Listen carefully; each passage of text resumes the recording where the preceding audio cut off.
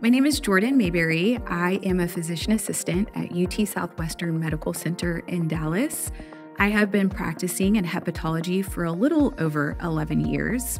Do you believe you will manage PBC pruritus differently with the new and emerging therapies? Yes, I am very excited that we now have a therapy approved that we know is helpful for PBC pruritus.